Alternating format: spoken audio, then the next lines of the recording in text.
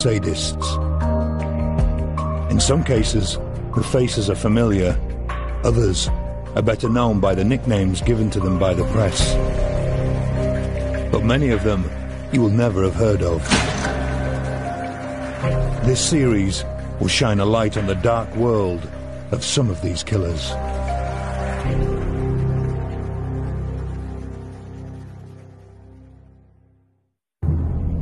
The subject of tonight's programme is a man who committed murders almost 30 years apart. Looking at the injuries, the poor man had been tortured. A man who used knives to deadly effect. A large carving type knife was through his chest into the door.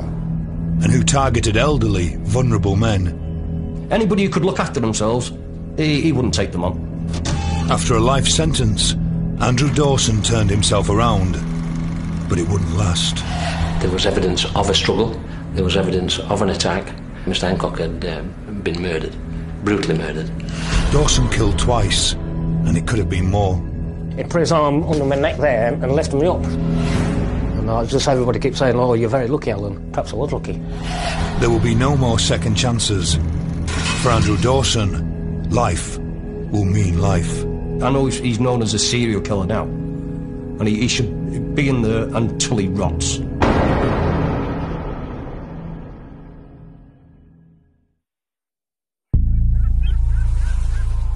These are Andrew Dawson's last moments of freedom. Surrounded by police officers in the seaside town of Whitehaven, he makes one final attempt to escape their grasp by diving into the sea. Dawson is a man on the run, suspected of a violent double murder. Both his victims were found 200 miles away in Derby.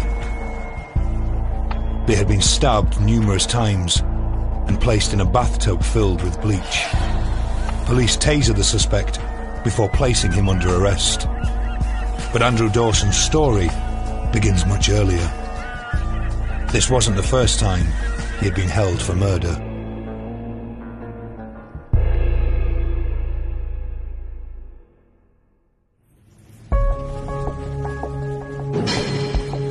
80 miles northwest of Derby lies the town of Ormskirk.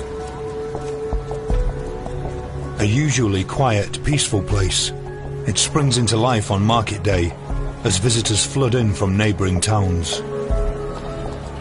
But on a Friday morning, in August 1981, the calm was shattered when Police Inspector Jim Kay received an urgent call-out. I was travelling along Stanley Street when a call came over the radio to say that a gentleman at a shop had not been seen for a day and the back door and the back gate were open.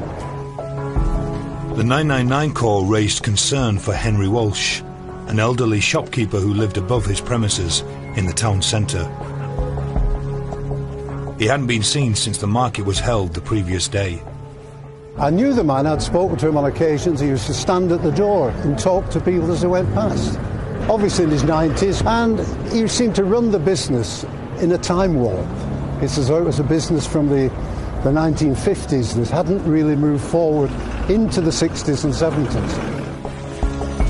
With reports of a possible break-in, Inspector Kay went with a colleague to investigate. We walked along the entry through the back gate into the back of the building. We then went across the kitchen and saw at the bottom of the stairs the body of a man. It quickly became clear that the old man hadn't passed away peacefully.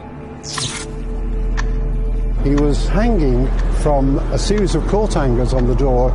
He'd obviously been placed there by someone. It wasn't a natural position, not a position he could have got into himself. He'd obviously been hung by the back of his clothing onto the door. And that wasn't all. On closer inspection, it was obvious that Henry Walsh had been violently attacked. Someone had stabbed him several times in the body. And in fact, a knife was through his chest, a large carving type knife. It was straight through his chest into the door. The shop was now a crime scene, and Inspector Kay called in Lancashire's murder squad. One of the officers was Eric Whitehead. It was a scene of extreme violence. You're thinking to yourself, well, you know, what on earth's gone on here? Who's done this? There's all kinds of different thoughts racing through your mind. With no immediate clues as to who the murderer was, the team explored possible motives. Robbery was suspected. Now, who would pick on this place? It was like going back 50, 60 years in time. And you're thinking, well, what sort of man is going to be on these premises? Nothing I would have suggested. But the injuries indicated the shopkeeper had been killed for money. The poor man had been tortured. There were minor wounds as though someone had said, Where's your money? Where's your money? Where's your money? And kept stabbing him with a knife. Not deeply, just chest wounds. The scene was cordoned off, and investigators scoured it for any clues the killer might have left behind. But the presence of police officers caught the attention of local journalist Clifford Birchall. I noticed at the end of Moor Street there was police activity, some tapes and police officers in places where they wouldn't normally be. Um, so, as is the case with reporters, you went along to see what was happening, and uh, I immediately contacted a, a, photographer who came out and took some shots at the, at the scene. Clifford prepared a report for the local paper, but initially police were keeping tight-lipped about the gruesome details. The police did admit that he had been stabbed. They didn't tell us that there had been uh, a ligature tied around his neck or the fact that uh, his, his jaw had been fractured. Whoever had killed Henry Walsh was capable of extreme violence. Kerry Daynes is a forensic psychologist. She studies killers and what motivates them to commit their crimes. The police could have been forgiven for thinking that they were dealing with a psychopath here, because although the offence wasn't planned, certainly the murder wasn't committed in the heat or panic of being caught. This is somebody who is capable of instrumental violence, extreme instrumental violence. He's got a callous lack of empathy for the vulnerable in society. Several days after the murder, police were no further forward in catching the offender, and the local community was getting worried. People were, were very shocked by it. You know, murders didn't happen every day um, or even every year.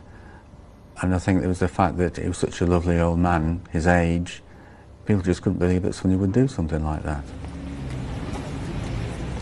It was a complete mystery because this isn't a violent town. This is a normal market town. Murders do happen occasionally, but this was out of place for the area. A post-mortem revealed the killer had struck on market day the day before Mr. Walsh's body was found. It meant the list of possible suspects was much, much longer. Most of the people that are in Ormskirk on market day are people from outside. You don't know who they are, you don't know where they come from. It's no idea at all. It's um, from a police point of view, logistically, it's a nightmare. so an appeal was placed in the newspaper, asking the public to come forward with any useful information.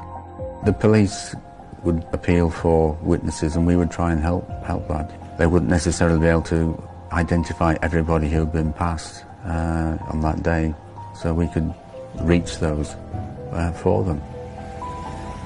So a lot of local people came forward with different ideas and what might have happened, what might not have happened, and maybe they, they had some theories as to who it might be. Amongst the calls and tip-offs was some information about a local teenager. His name was Andrew Dawson. We received information about Mr. Dawson being seen in a local public house about 200, 300 yards away from the away from the shop, spending an awful lot of money in the fruit machines. Well, Andrew never had any cash. Andrew Dawson was always broke. So if somebody tells you that Andrew Dawson's been in with a wad of money, your first question is, come on Andrew, where have you got it from? So immediately he comes into the picture, doesn't he?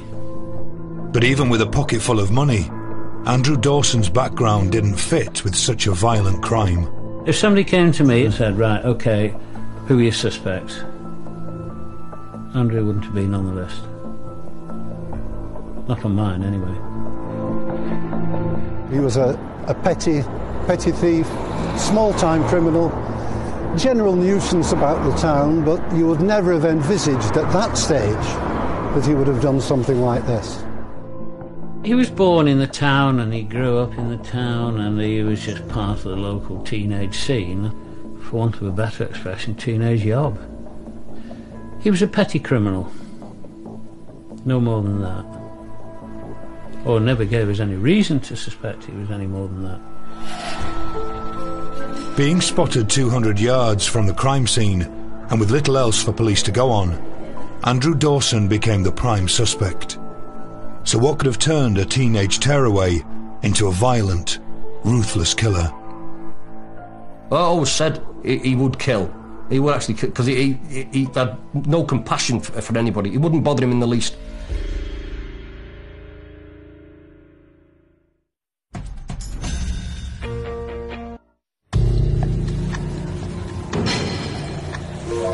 In 1981, in the Lancashire town of Ormskirk, police are investigating the brutal murder of 91-year-old Henry Walsh.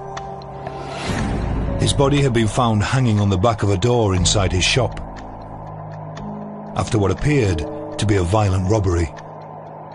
He'd been stabbed many times. His jaw had been broken and a ligature tied around his neck.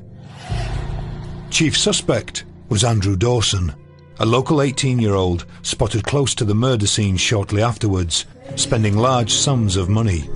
Dawson was known to police, but didn't stand out as a particularly dangerous young offender. I mean, he was brash, he was arrogant, he was, um, you know, I suppose you could describe him amongst his peers as a bit of a bully, but, you know, just a teenage yob. Every town's got them, every town's full of them. Dawson had grown up in Ormskirk, one of six children brought up in a typical working class family. One of his brothers was Mally Dawson. We were all brought up with the same treatment uh, because my dad was a proper Victorian strict father. I mean, he didn't think nothing about uh, giving you a slap, and I mean a good backhanded one. He was like, you always did as you were told. Despite the strict regime, the brothers clashed over almost anything. We were always arguing and squabbling over stupid little things, like what you doing? You've got half a round of bread more than me. Think, things like that. With six children, money was tight. We never had a, a full week's holiday anywhere. We couldn't afford that. Just days out, and we all got ex- exactly the same treatment. It was like, uh, right, uh, yeah, here's the ice creams. Uh, uh, always took sandwiches and drinks with us, but always because we could never afford to go into a cafe or anything like that. But from an early age, Andrew had different ideas about earning a living. I can remember Andy oh, he was only six or seven years old, uh, in junior school, and he, he, he saw some little kid, I think it was a little girl, she had two or three pennies on her, and he decided to nick it off her, shoved it over and nicked some money, and decided, I'm running shop and spending it. Dawson was reckless and antisocial from a very early age. Now, to be fair, many people go through that stage, the stage of juvenile delinquency, but then they grow out of it. But for a small proportion of people, they don't, and their crimes escalate. And as Andrew got older, his taste for other people's money grew stronger. When he got to about eight or nine is when he got really annoying because he'd got the idea of if he wanted it, he'd just go and get it. Uh, it, it, he wanted to pinch it, he'd pinch it. He'd go robbing anybody on the estate where we were. As a teenager, Dawson started to experiment with illegal drugs. The kids he was hanging around with, they were always into, oh, magic mushrooms. And then he decides, well, I know, let's see what glue's like. By this time, he was getting tattoos done himself and his mates with the Indian ink and the needle and when he started stealing from his own brother, it was the last straw. That thieving little sod's had away with money, but I'd worked hard for that money, and this thieving sod. So I got a grip of him, and in the, in the end, he admitted it, so I got the police onto him. With that and him bunking off school all the time, he ended up going to court and he got six months in Borstal. The law had caught up with Andrew Dawson, but instead of rehabilitating a wayward teenager, the spell in Borstal increased his appetite to commit crime. Being sent to a borstal can really affect you in one of two ways. For many, it's a very effective deterrent, and they don't want to end up there again in the future. But for others, it's just a school for them to learn how to be criminals. once he'd been into Borstal, it, that, that's where it went worse, and he must have realised, oh, right, if I want anything, I'm going to go on the rob for it. His next target was an old man, robbed on his doorstep. A pattern was beginning to emerge. Anybody who's able to look after themselves, he won't challenge them. Vulnerable, elderly, ones he knows he can get away with giving her a good iron, he will do. Anybody who could look after themselves, he, he wouldn't take them on. As the criminality spiralled, so too did the drug taking, and soon Dawson was hooked on cannabis. He could go on it for a good 48 hours non-stop. I mean, wide awake all the time. He could be smoking dope all the time and he'd stay with... But then, once you haven't got some, you get to the paranoid stage where you think even people across the road, they're talking about you and you, you start getting panicky over things. So he's got to have the drugs again. Dawson got involved with drug use from a very early age. He was smoking cannabis from the age of 14 quite heavily. Now, we know that people who are involved in cannabis use are actually 16 times more likely to be involved in a violent offence. By now, Dawson was 18 years old. He was hooked on drink and drugs and had a taste for violence. His growing criminal record included time in Borstal. Now, he was in the frame for a brutal murder after being spotted spending money in the pubs near the crime scene. He's picked his day, hasn't he? Market day. The town absolutely full, jam packed full of strangers. I mean, the chances of him being caught, I suppose, in his mind, were minimal. Whereas in actual fact, he was leaving great big footprints wherever he went. Police discovered that Andrew Dawson had cashed a pension book belonging to Henry Walsh in the town. Everything pointed towards Dawson. And seven days after the murder, police swooped to arrest him. The local yob who detectives had dismissed for such a brutal crime quickly confessed. Those close to the case had their own theories. Iron, whatever he was iron. Oh, I've run out of money. I know, I'll go and get some. I'll go for an easy target, that old fella's shop. That's what's been in his mind. Now, you don't do something like that. I mean, the fellow was 91, for God's sake. He knew who he was. All he had to do was push him out the way. He didn't have to kill the old fella. He probably had one thing on his mind. He probably thought, well, you know, I, I want some money. I desperately need some money. Whether he wanted it for drink, whether he wanted it for drugs, whether he wanted it for gambling, whatever the motive, whatever the driving factor behind what he did, um, that was it. I think it was probably covering his tracks in many ways. Once he got the money, he didn't need the man anymore. I always said he, he would kill. He would actually, because he, he, he, had no compassion for, for anybody. It wouldn't bother him in the least. Finally, the people of Ormskirk could rest easy, as a dangerous killer was taken off the streets. Dawson appeared at Preston Crown Court to be sentenced. Clifford Birchall, who was the first to break the story, would now report on Dawson's fate. The judge paid particular attention in his sentencing uh, to what he said was his uh, acknowledgement of the fact that he was remorseful. I mean, he did highlight the, the phrase he had given when he was charged with, I wish it was me, not him. I could see by his face there was no remorse, no nothing. You could actually just look at him and think, there's nothing there. And you'll never hear him say, I'm sorry for killing him. He said, I, I just wish it was me. Right, you get in life and that's it. The younger you are when you commit your first violent offence, the more likely you are to commit other violent offences in the future. So Dawson's already high risk by virtue of the fact that he's killed somebody at the tender age of 18. But when you look at the specifics of that offence, then he becomes even more dangerous. He certainly didn't need to kill the old man. There wasn't anything he really gained from that other than possibly avoiding being identified by the victim in the future. But he certainly didn't need to torture and taunt him in the way that he did. To do that for such little gain shows a very peculiar mentality. Dawson was told he would serve a minimum of 14 years behind bars. But the impact on the community and the police officers involved would last much longer. It ranked up amongst um, some of the worst I've seen, yeah. Purely by the degree of violence, the reason for using the violence, the victim's age, his frailty, there was just no need for it at all. It was just, you know. At just 19 years of age, Andrew Dawson was a convicted killer. But few imagined he would one day be back in the dock, once again charged with murder.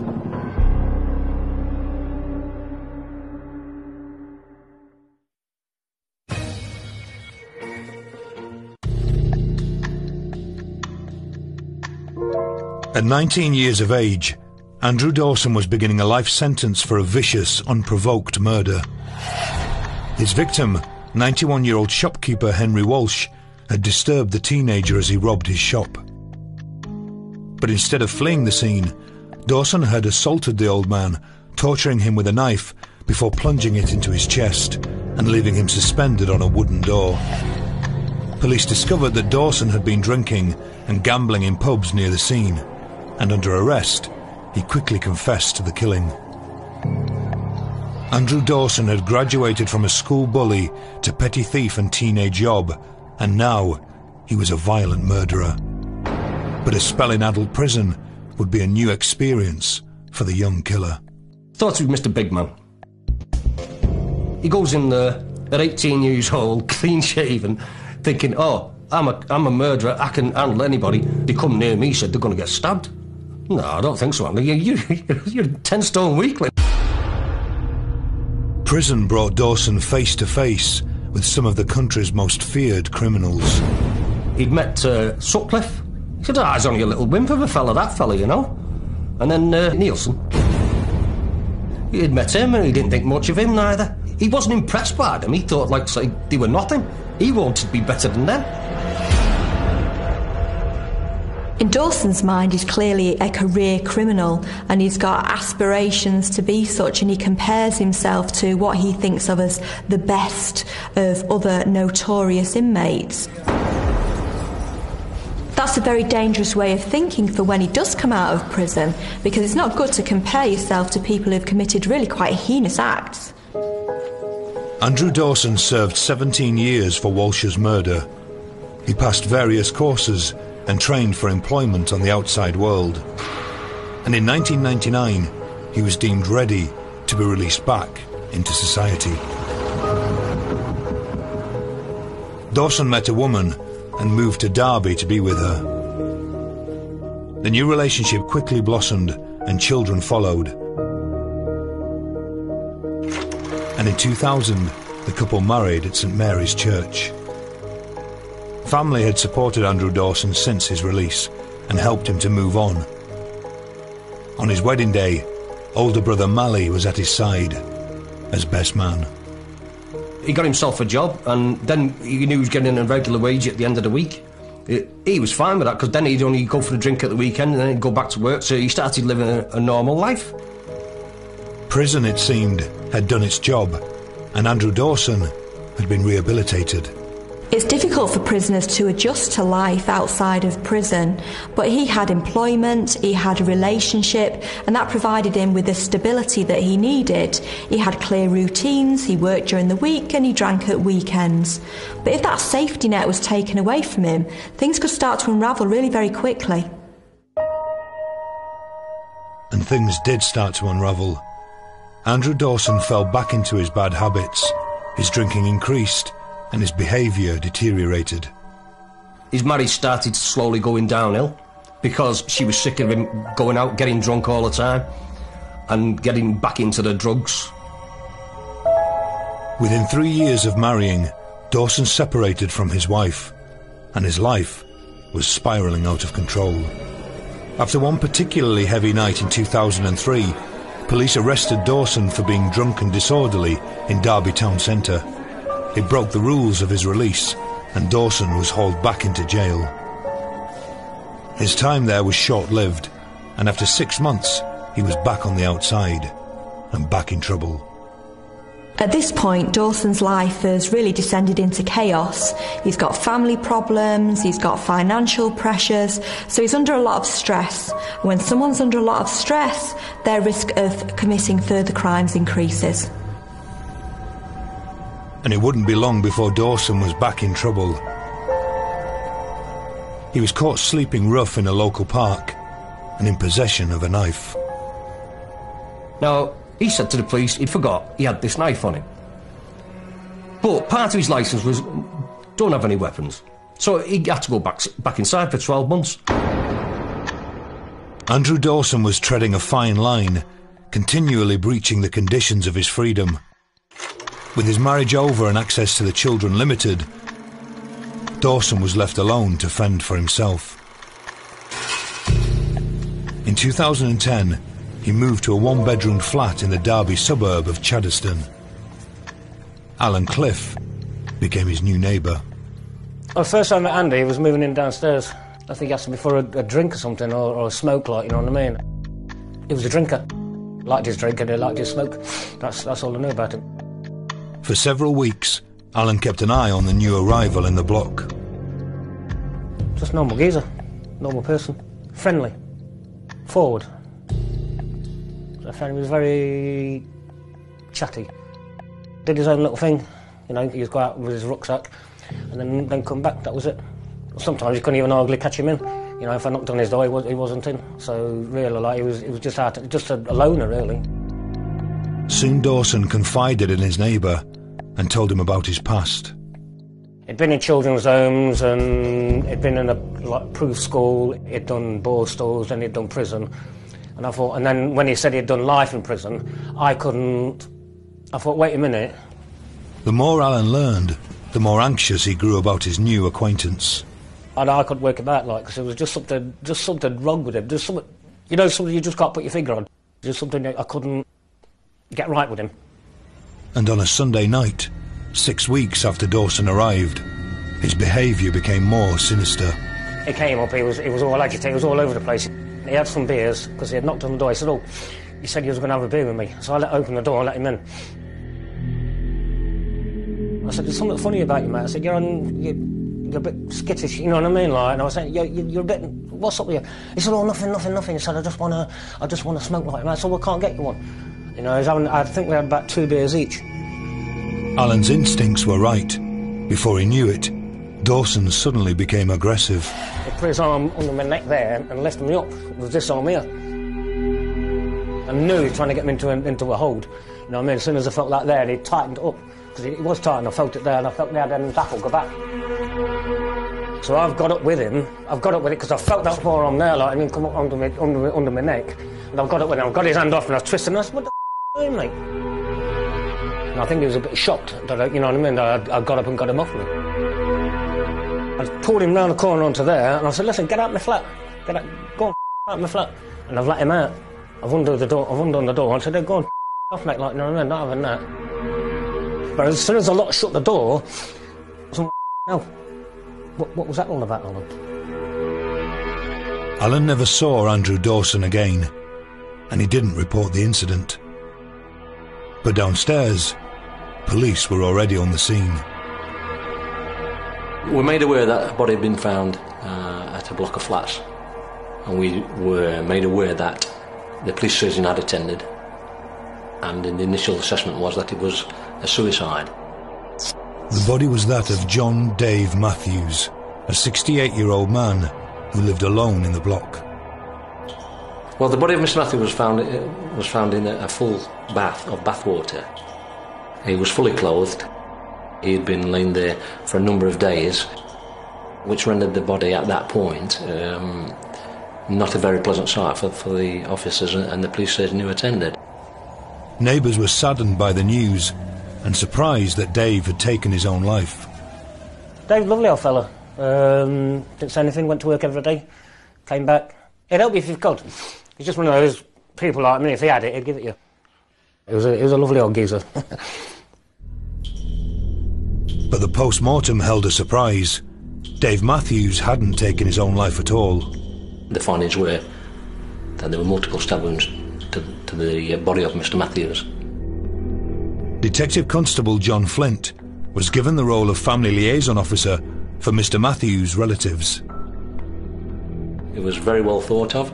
He'd, he'd worked hard all his life, uh, kept himself to himself, was a friendly uh, old gentleman. The family were devastated because nobody ever expects that, that their father, mother, or loved one has uh, died in such horrendous circumstances, really.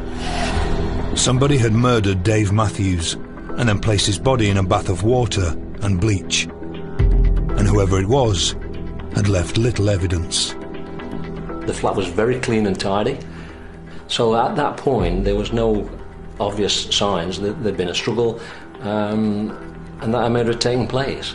Whoever had cleaned that flat must have been forensically aware uh, what we would be looking for.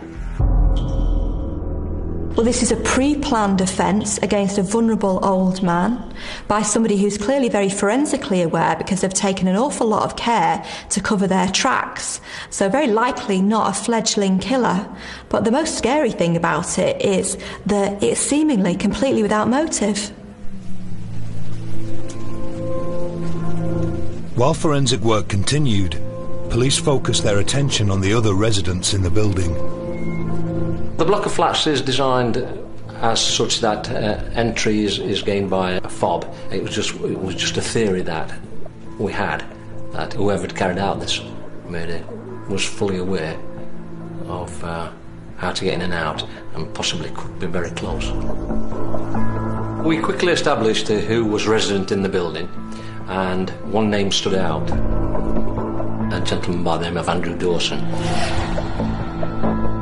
Dawson was immediately flagged up as a previous offender uh, and obviously had committed a previous murder. Police checked up on Dawson's convictions and discovered how he had repeatedly stabbed an elderly man to death. The suspicions were immediately raised uh, from that.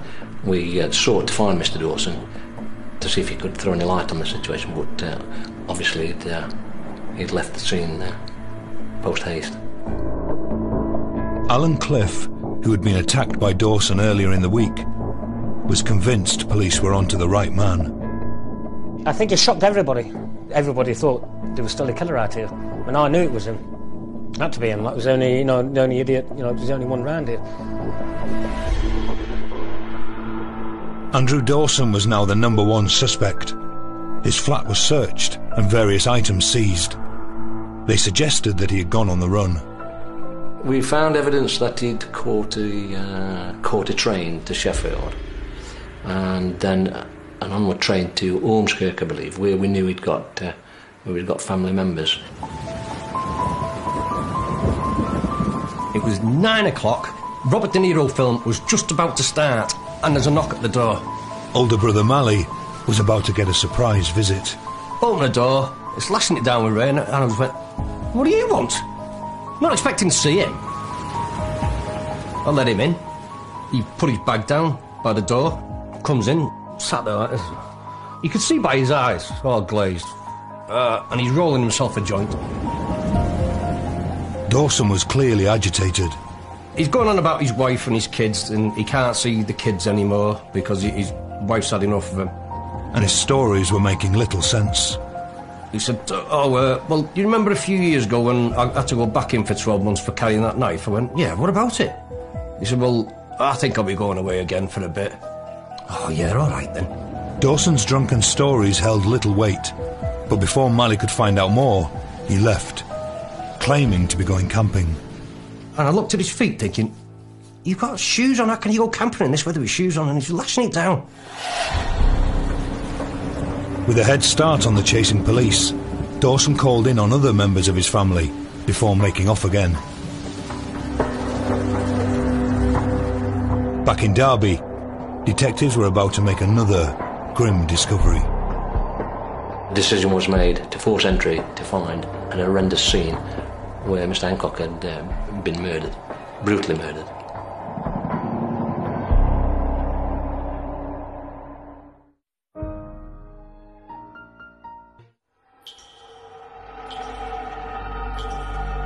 Police in Derby are investigating the vicious murder of pensioner Dave Matthews. The 68 year old was found in his bath, having been stabbed to death. Prime suspect is his neighbour, Andrew Dawson, a 47 year old with a deadly past. He'd committed his first murder in 1981, torturing an elderly shopkeeper to death. After spending 17 years behind bars, Dawson had been released and arrived in Derby. Now he's on the run, and police have launched a manhunt. At the murder scene, door to door inquiries are underway. Police are trying to speak to neighbour Paul Hancock, but he's not answering the door. We were alerted to the fact that Miss Hancock hadn't been seen for several days, so the decision was made to force entry to Mr. Hancock's flat to find, again, a- an horrendous scene. Mr. Hancock had uh, been murdered, brutally murdered. Police now had two victims, both stabbed to death, in a single block of flats. The circumstances were very, very similar in, in as much as that the body was found was found in the bath, fully clothed. But unlike Mr. Matthews's flat, there'd been no attempt to clean up. There was evidence of a struggle. There was evidence of an attack. Whoever had, had carried out the second murder had had to leave the scene very quickly. And police suspected that person was Andrew Dawson, a man with a previous conviction for murder. The fact that Mr. Dawson hadn't been seen within the complex raised alarm bells. So it was imperative that we uh, spoke to Mr. Dawson as quick as possible. Police had searched Dawson's sparse flat and seized a notebook. Although it was blank, forensic tests would reveal a vital clue. Examination of the notepad revealed indentations of previous writings, and subject to forensic examination um, revealed a semi confession, really, from Mr. Dawson. He was obviously wrestling with his conscience at that stage as to what to do. The note admitted killing a man and placing his body in a bath. It also referred to a pink rose, which was placed on Mr. Matthews's bed, describing it as a nice touch. To find that rose on Mr. Matthews's pillow was quite a sinister turn, really. Uh, we, we didn't know what was in the mind of Mr. Dawson, uh, why he put it there, what, what he was trying to achieve, what he was trying to prove by placing it there. Uh, and probably we'll never know to this day. The note was signed, The Angel of Mercy, but crucially, it was never sent to detectives. Well, whatever was he thinking at the point that he wrote this letter? Was it an attempt to engage the police in some kind of game? Was he having a crisis of conscience? Whatever his motivation might have been, he signed off as the Angel of Mercy. Well, that's putting a very palatable spin on what he'd done. He'd killed vulnerable old men in cold blood, he'd not euthanized them. Detectives pieced together what they believed had taken place in the flats.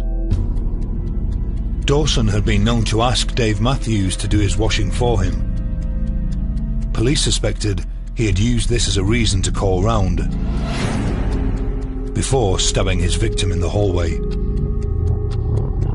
He had then taken his time to clear up the scene.